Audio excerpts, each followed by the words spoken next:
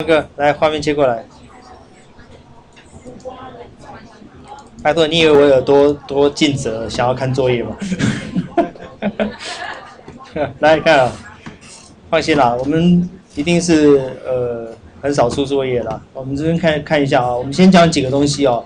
第一个，主光跟补光的强度比啊，还有就是主光的颜色、色温这件事情的问题啊。不过因为 IPR 不能开啊，实在是很痛苦。哦怎么可以烂到 IPR 不能用？真的是。我们现在看一下啊，先打一个弄一个球体好了，create 一个 sphere 随便，然后再 create 一个 nervous 的一个 plan，OK，然后再把这个 plan 把它拉大，把它稍微调一下位置哦。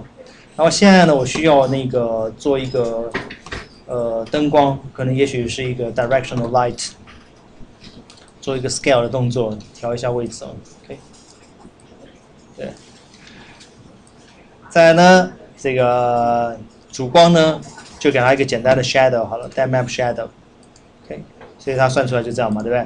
好，我们现在可以把它拉近一点，OK，Control Alt 按着不放，由左到右拉，大家可以看到，就是我现在框选的这个范围会被放大，OK，那我现在呢，再做一个 ambient light，lights ambient light，然后这个 ambient light 呢，把它拉出来，它现在呢，我要调它的 intensity。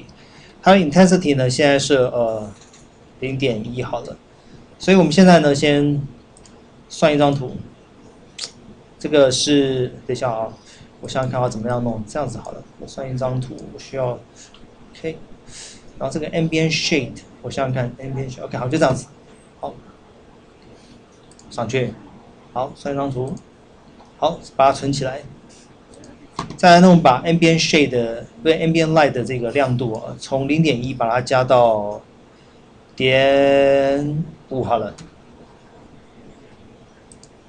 所以我们现在看到这两张图的差别是，ambient light 的强度改变，但主光没有改，对不对？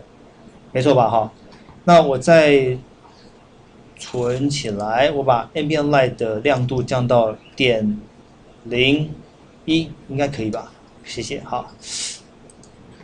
所以我们现在呢，这样比对一下。我问你一件事情：你自己对一个环境的观感，比如说你在晚上的时候，室内如果只有一个蜡烛，你觉得在那个光的这个照亮那个环境，比如那个房间照亮你的人的时候，它的暗部应该会怎么样？如果整个房间只有一个蜡烛的话，很暗，对，OK。所以那再来就是，比如说你在呃。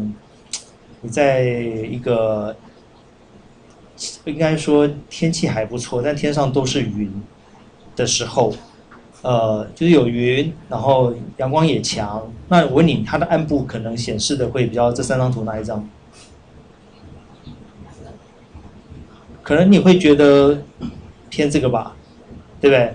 好，所以其实我们要讲的一件事就是，这个地方是所谓的主光照亮的区域。这个是所谓的补光照亮的区域，对不对？所以有一个名称叫主光跟补光的一个强度比，这个其实应该要记一下啊。Key to field ratio，key to field ratio，就主光跟补光的一个强度比，这个非常重要哦。呃，to feel，这个我是不是要打？这样子可以打吗。嗯，主光跟补光的强度比哦，它会影响到什么？影影响到你对一个环境明暗的一个认知哦。所以呃，我们在打一个场景的时候，其实你要注意，就是那个场景的那个亮部跟暗部的一个强度反差到底是大还是小。所以你在打灯的时候，你务必要收集一些照片当你的那个 lighting reference，不要就是直接就打。哦，所以。第一个就是注意打灯的时候要注意主光跟补光的强度比。我们刚刚的主光是什么？directional light，补光是 field light，对不对？然后第二个呢是，你在判别这个呃这个环境到底是白天还是晚上，除了主光跟补光的强度比之外，你还会根据什么来判断？色温嘛，对不对？所以呢，像呃，我现在如果说我的 ambient light，我先不要管，我就调一点点好了，零点一四八。主光呢，我现在可能本来是白色的，我们先算一张，因为还是要做比对啊。我们这边呢可以试试看，比如说我设一个淡淡的黄色，不能太强哦。算一张，这是一种，这个黄可能还不够弱，这太强了，而且应该好像要偏一点点橘，对，而且它的 saturation 还是太强。OK，这慢慢开始有感觉了，就是你可能像这样的一个颜色，你就会想到的是，太阳可能是刚升起来，或者它刚落下的时候造成的一个一个灯光的一个结果，对吧？好，那再来，如果说是晚上，晚上的话，可能它的颜色，它它可能会是在这一区，有没有？晚上可能会有点点紫啊，有点点蓝，对不对？懂我意思吗？所以。你在打灯的时候，你要判定的东西很多。第一个有色温，第二个主光跟补光的强度比，OK 吗？还有就是什么，像影子的一个锐利与否，这个其实都很重要。影子的锐利与否，刚刚讲过，根据什么来做设定？如果是户外的话，你天上有没有有没有云，这件事情是非常重要的，OK 吗？如果室内的话，其实像我们这个呃环境啊，光源太多了，所以你的影子不可能太利啊。懂意思吗？除非你光线是只有一个灯，比如说只有一个一个 spotlight 照你好了，就是一个 spotlight 一个圆锥形的灯光照你，然后这个灯光之外没有其他的灯，而且中间没有什么呃灰尘之类的东西去阻挡这个光线的前进，那可能它打出来的影子就会非常的利，OK 吗？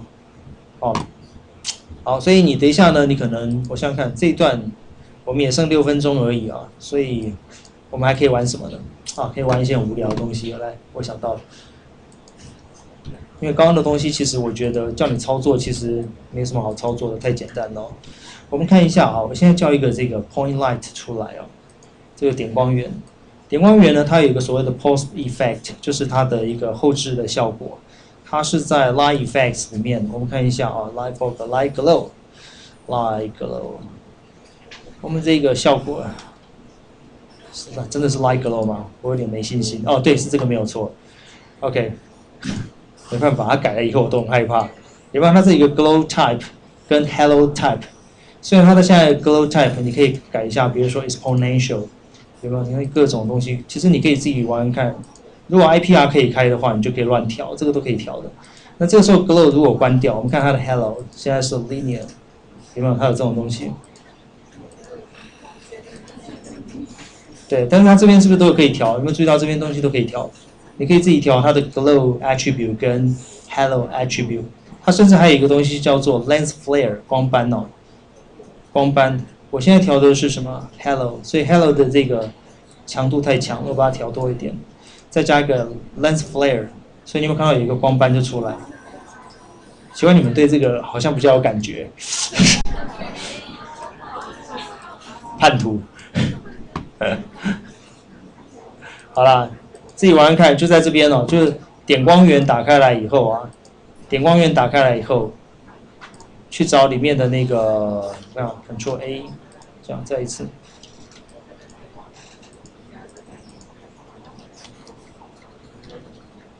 它在那个 Optical Effects 啊，这边有一个 Light Glow。那这边是本来是一个棋盘状按钮，点进去以后就是它的这个光学的一个效果。那光学效果里面呢，主要有 glow，有 hello，还有一个是 lens flat flare，可以吗？那你就自己玩看哦。IPR 可以打开来哦。IPR 如果能开的话，这个边调边看其实还还蛮好笑的，我觉得啦。而且它还有 hexagon flare，有没有就是这种形状的？OK，自己玩看吧。OK。好，今天就讲到这里。